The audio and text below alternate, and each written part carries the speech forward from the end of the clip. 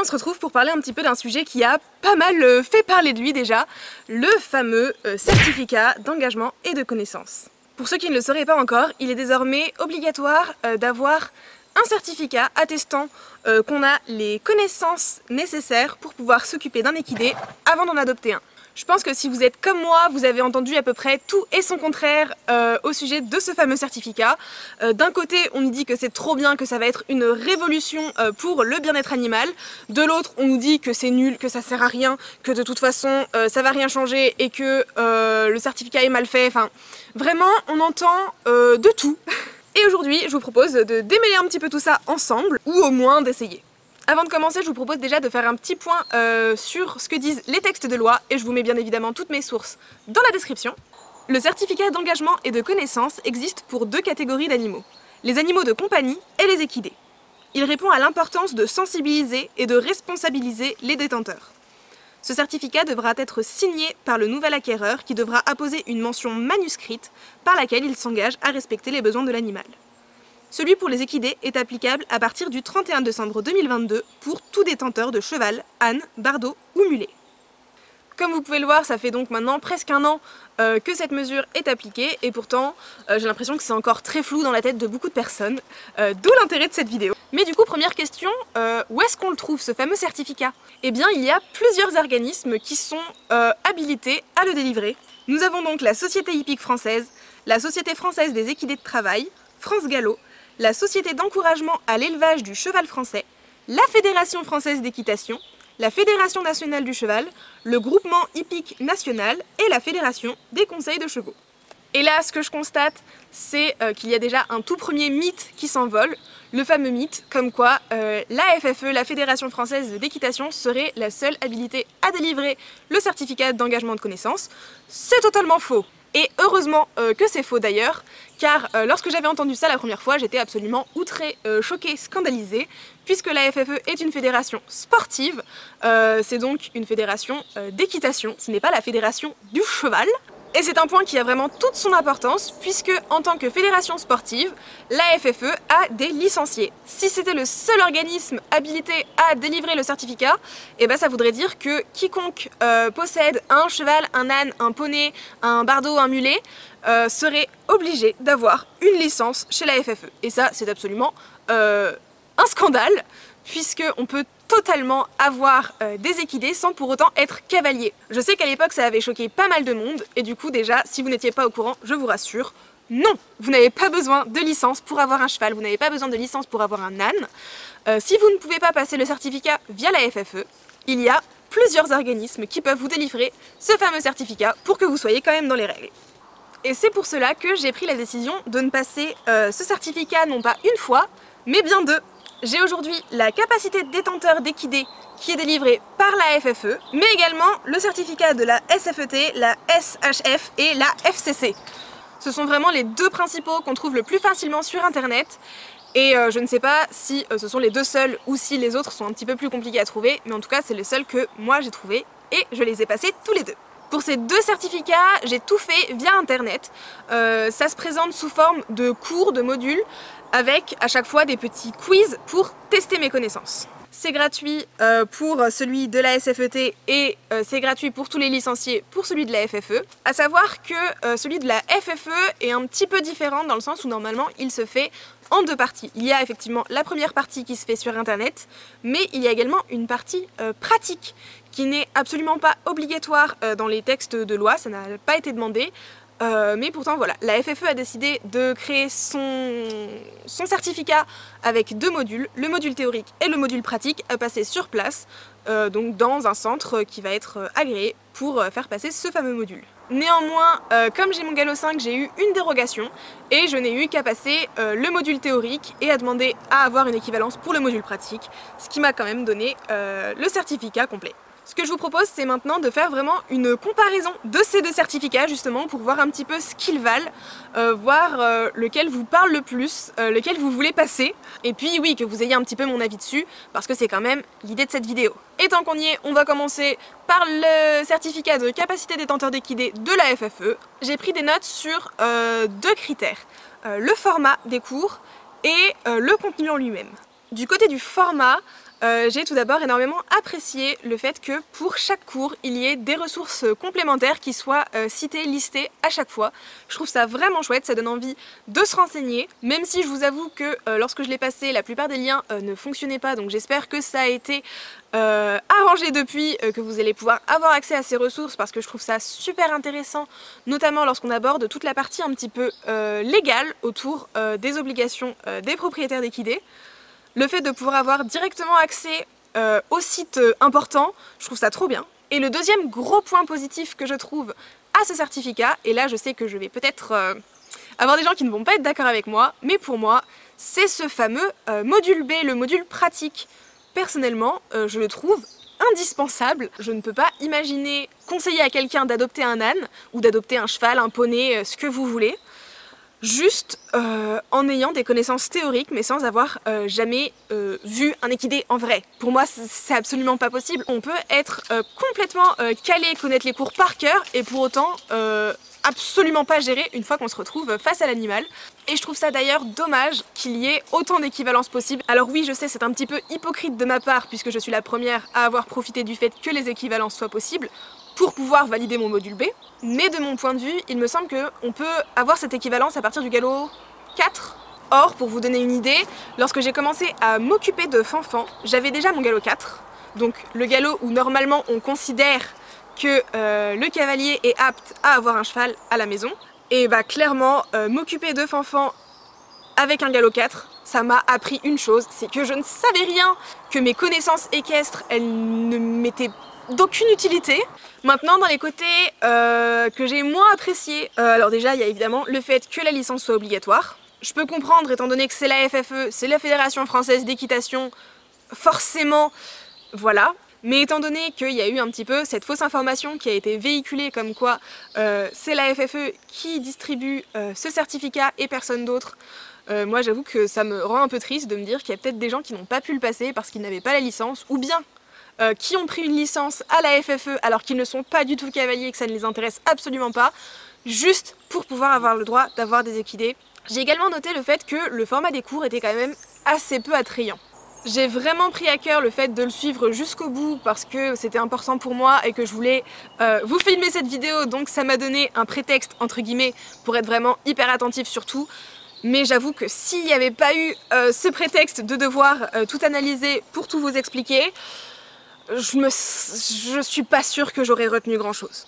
En plus, bon, pour ceux qui ne le savent pas, euh, j'ai un trouble du déficit de l'attention, donc autant vous dire que la concentration, c'est pas mon point fort. Euh, faut vraiment euh, me donner un prétexte pour que je reste accrochée. Là, c'était pas ouf. Au niveau des quiz, il y avait une dizaine de questions par chapitre, et il me semble qu'il y avait trois chapitres au total. Euh, donc au final c'est assez peu, les questions étaient vraiment très basiques. J'ai réussi ça assez facilement alors que comme je vous le disais juste avant, euh, j'ai eu du mal à rester concentrée vraiment donc il n'y avait pas de questions ultra pointues, précises, enfin voilà. Et je sais qu'un point qui a été pas mal soulevé euh, sur ce certificat que d'autres personnes ont pu déjà évoquer, c'est qu'on peut passer ces quiz autant de fois qu'on le souhaite. Donc on a eu 2 sur 10, et ben on le refait et on connaît les réponses. Il y a quelques questions qui changent, mais c'est globalement toujours les mêmes. Euh, voilà, peut-être que sur 10 questions, ils en ont 12 et on en a que 10 sur les 12. En gros, je pense que c'est ça. Donc c'est assez facile. Euh, les quiz ne sont vraiment pas là pour euh, vérifier notre niveau, c'est juste pour voir si on a suivi un minimum. Et enfin, là c'est pas tant par rapport au cours que vraiment par rapport au certificat en lui-même. C'est qu'il n'est pas euh, aux normes de ce qui est demandé dans les textes de loi. Et ça c'est quand même un petit peu embêtant, car si vous vous souvenez bien de ce qu'on disait tout à l'heure, ce certificat devra être signé par le nouvel acquéreur qui devra apposer une mention manuscrite par laquelle il s'engage à respecter les besoins de l'animal. Or, sur le certificat de la FFE, il n'y a pas d'espace pour une mention manuscrite. Pour ce qui est du contenu des cours en eux-mêmes, euh, parmi les gros plus que j'ai notés, il y a vraiment toute la partie euh, légale. C'est vraiment quelque chose de super intéressant car je trouve que c'est un sujet où au final il y a euh, plein de propriétaires aujourd'hui qui ne savent pas quelles sont les obligations du propriétaire d'équidés.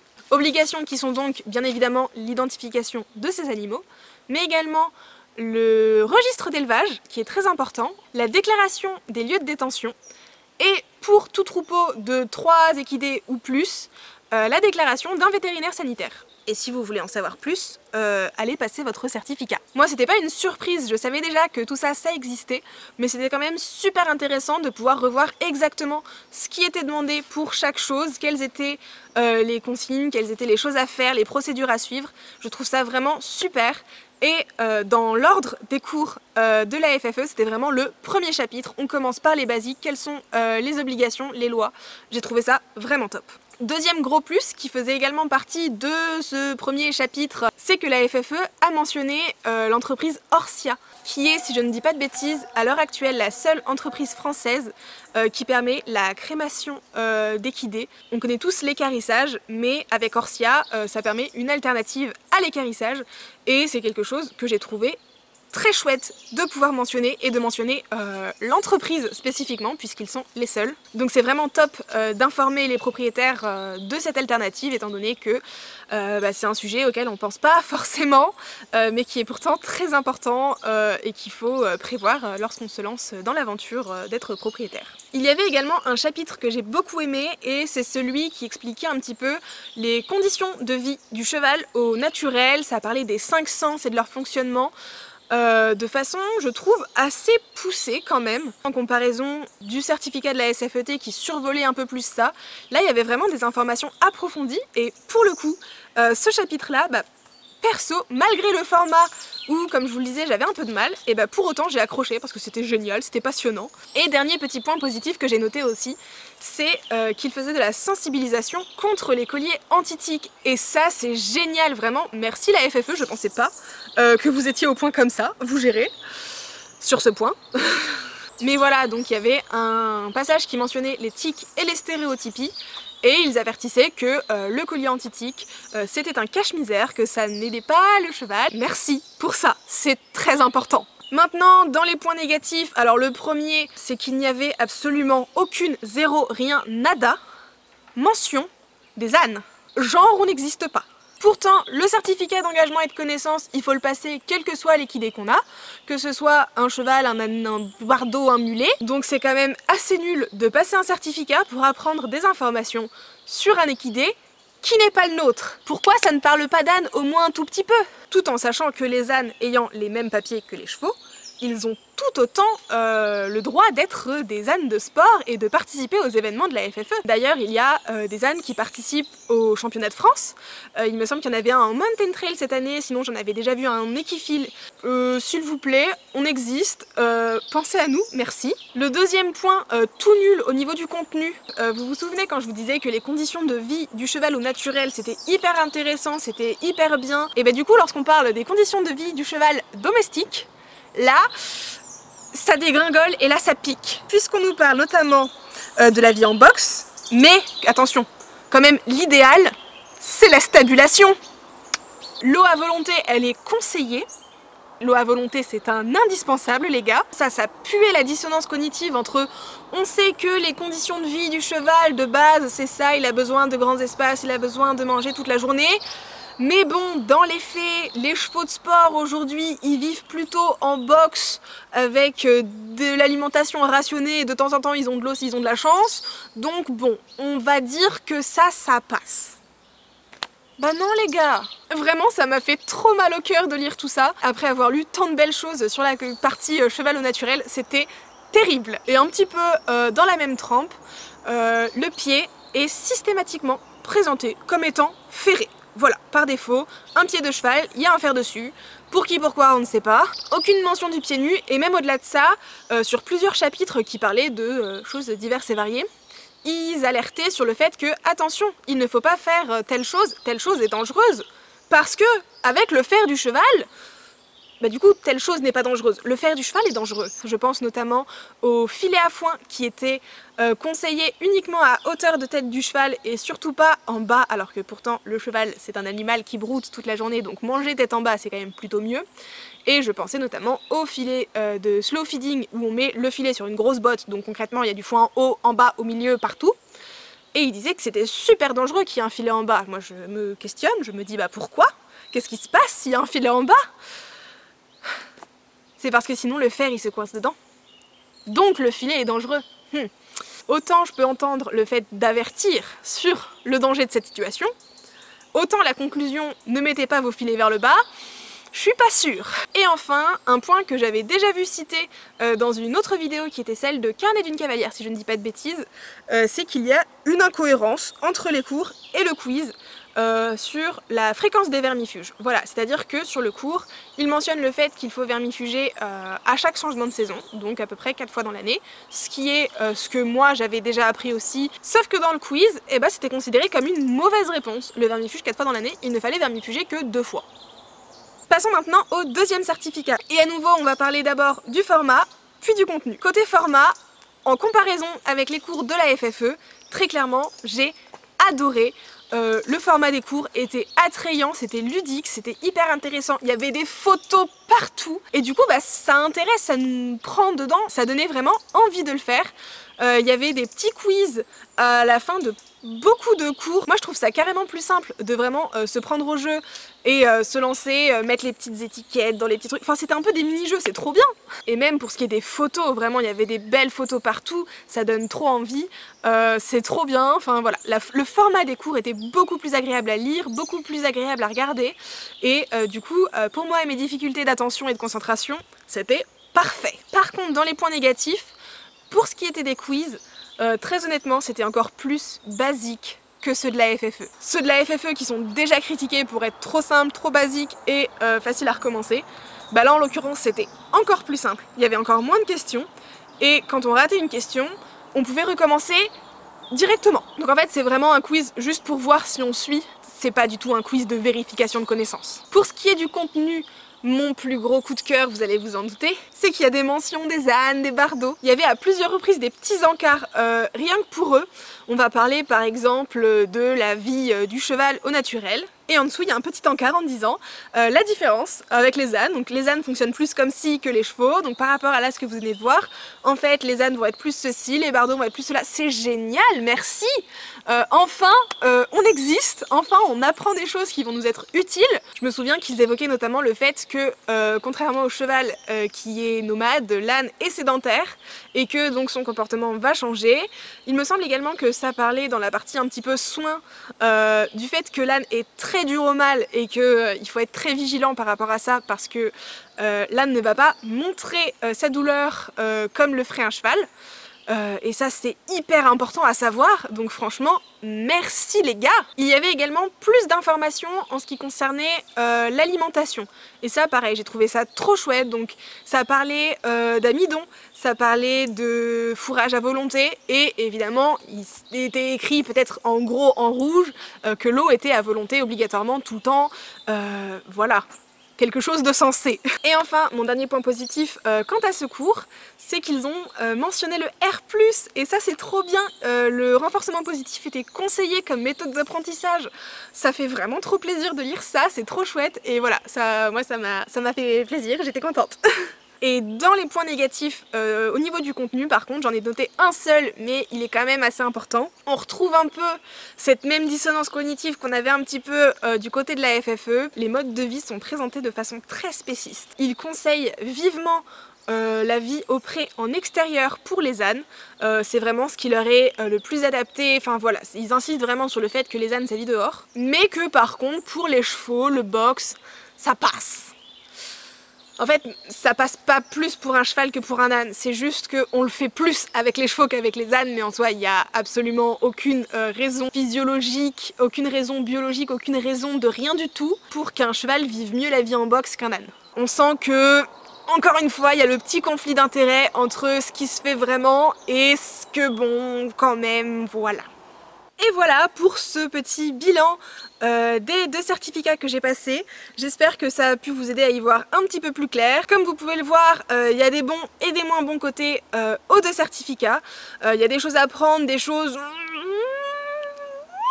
Maintenant, je voulais quand même vous donner mon avis sur cette nouvelle obligation de certificat de façon générale. Et cette fois-ci, je vais commencer par les points négatifs, avec notamment cette grande question comment s'assurer euh, que vraiment ce soit respecté Les propriétaires euh, consciencieux, les propriétaires euh, qui font vraiment attention, qui prennent soin de leurs animaux, vont passer ce certificat.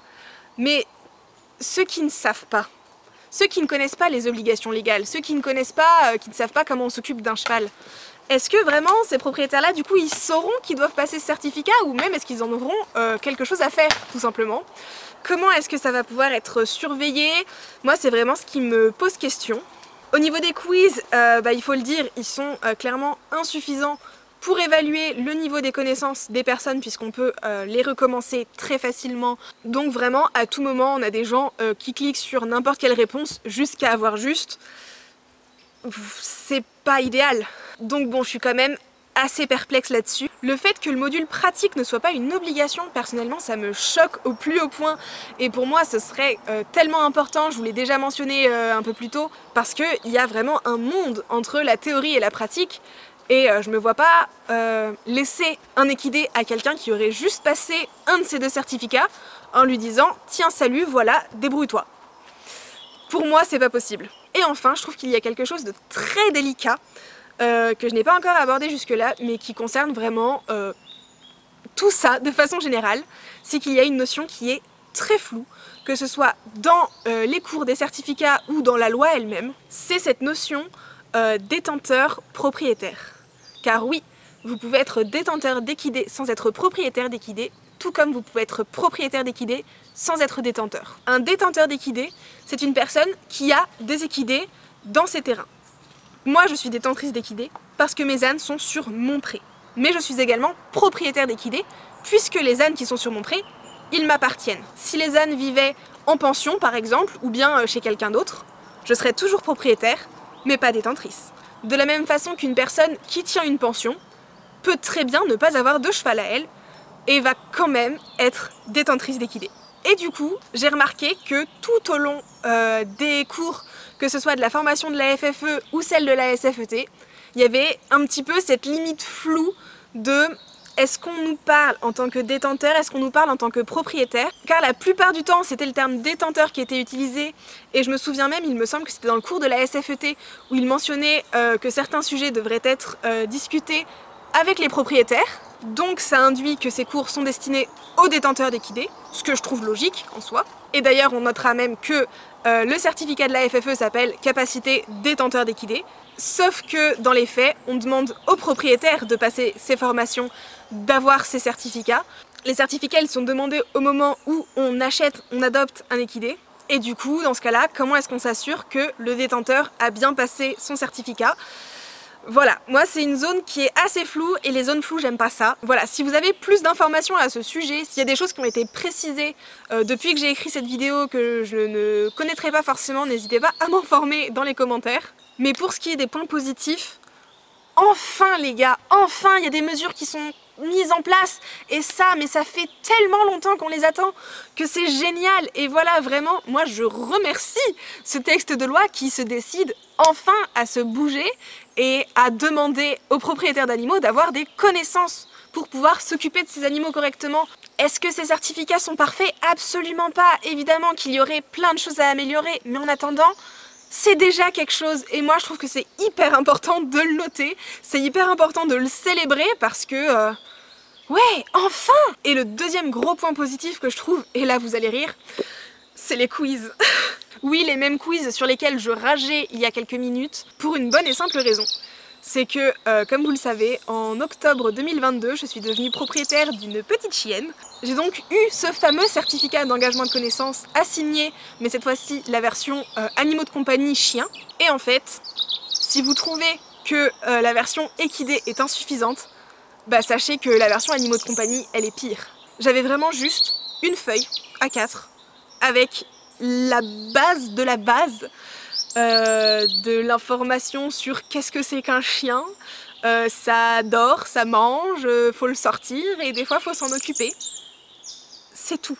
J'aurais très bien pu signer le papier, mettre une date et ne jamais l'avoir lu. Vous savez, comme quand on accepte les conditions d'utilisation. Donc là, le fait qu'il y ait des quiz à faire, le fait qu'on soit obligé de s'impliquer un minimum euh, dans les cours, et eh ben, je trouve que c'est déjà tellement mieux que juste un bout de papier à signer. Donc encore une fois, on est d'accord, c'est insuffisant. Mais c'est déjà bien Et j'espère vraiment qu'on va continuer dans cette lancée et qu'on va continuer de chercher à faire en sorte que les propriétaires soient de plus en plus euh, responsabilisés et qu'ils aient euh, de plus en plus euh, une obligation d'avoir des connaissances et une obligation de s'occuper correctement de leurs animaux, de s'occuper correctement de leurs équidés, parce qu'il est plus que temps Et voilà, euh, j'ai fait le tour sur tout ce que j'avais à vous dire à ce sujet. J'espère que cette vidéo vous a plu, que vous avez pu apprendre des choses. Euh, n'hésitez pas à me donner votre opinion euh, sur tout ça dans les commentaires. Dites-moi si vous avez passé ces certificats, lequel vous avez passé, comment vous avez vécu ça. Enfin, dites-moi tout, moi ça m'intéresse vraiment d'avoir votre avis, votre point de vue, votre expérience. Sur ce, moi je vous fais tout plein de gros bisous et à bientôt pour une prochaine vidéo.